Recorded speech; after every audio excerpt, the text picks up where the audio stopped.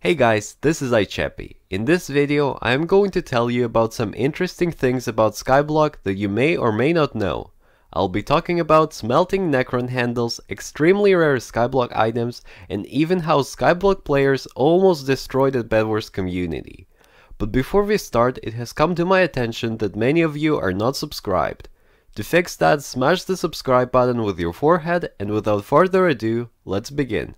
As you may already know, Hypixel has an appreciation system, in which players who report game-breaking bugs and glitches get rewarded with a special item in return. This item is called a Game Breaker. They are pretty rare and expensive, they're only given out for the most dangerous game-breaking bugs, such as dupes or those that can crash the server or harm other players. But a group consisting of 5 players went above and beyond. Simple Origin, Inhumanly, TimeDeo, John Wick, and Pidgecal reported more than 20 dupes at once to Minikloon, making him cry. For that they got a very special item, a Game Annihilator, a step up from a Game Breaker. There's only one Game Annihilator in existence, and it's priceless. You can see it with your own eyes on TimeDeo's island in his glitched item museum. Personally, I have no idea how someone can find 20 dupes, but according to Inhumanly, one of the people who got the Game Annihilator and also my guildmaster, finding dupes is not as hard as it may seem. He says that they take about an hour of trial and error to find one, but also the knowledge of how dupes originate contribute to their speed.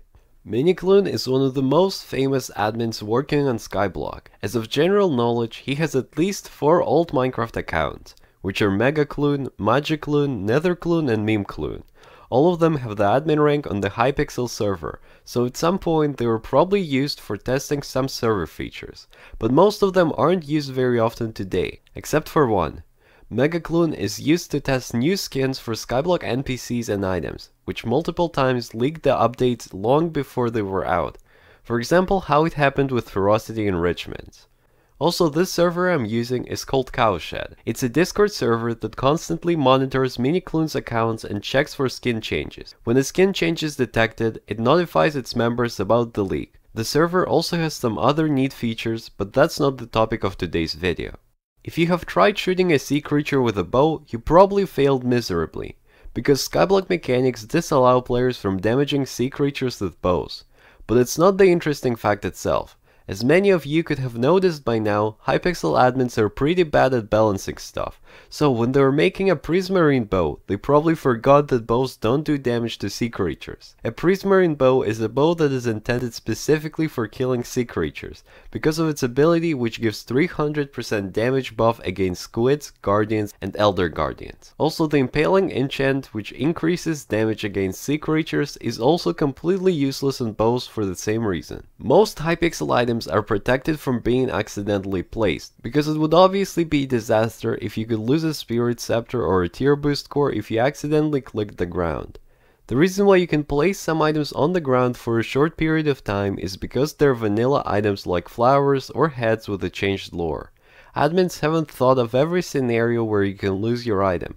For example, if you put an item that represents a vanilla flower, for example a spirit scepter or an XP share core, into a flower pot and try to get your item out of there, it will turn into a regular flower. Also it is possible to place a weird tuba by shift clicking a chest, and some people went as far as using a Necron handle as fuel in a furnace. Frag running is a strategy of doing dungeon runs without a party.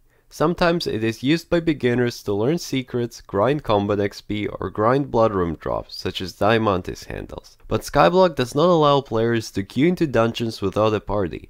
For floors 4 to 7, the party must have at least 2 members to get into a dungeon. So, smart Skyblock players came up with a solution. They made Fragrant bots, bots that would join your party, giving you just enough time to join a dungeon and then leave the party, allowing the players to trick the Hypixel system. The Fragrant bots were mostly hosted by top guilds for a select group of players. Also, frag running bots were not allowed by Hypixel so they would often get banned.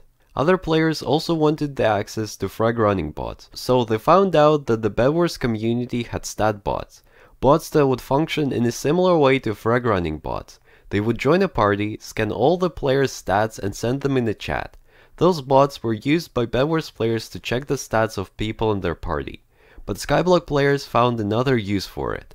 First, it was not known to many people, and personally, I was one of the first people to discover this method. But then, the word spread around the Skyblock community. The Bedwars stat bots became overloaded.